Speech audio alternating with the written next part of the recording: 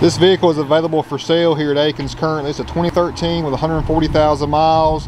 When we traded for it, it was a little on the rough side, I may say, as far as overall condition. So we took it to our Akins paint and collision shop, did a phenomenal job with some custom paint work to really make it look good again and, and sellable and something that, that, somebody would like to have and appreciate and love because it's still got a great powertrain. All the um, components are in great shape did a little few modifications. Wheel and tire we've got Nitto Terra Grappler G2 all-terrain tire looking great. Went with 37 12 50 20 and a nice fuel wheel. You've got some matte black accents with your graphics on the top.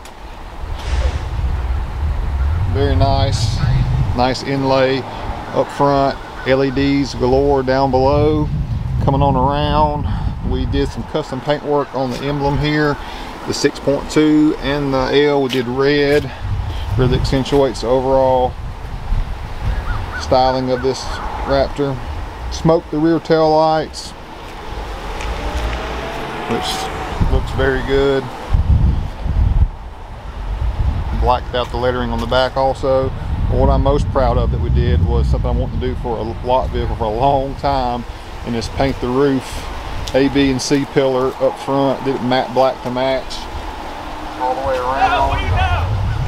Has a clean, inspired look to it. Let me know if you like this. I'd like to do it on a new F-150 soon too. Maybe a white one like this.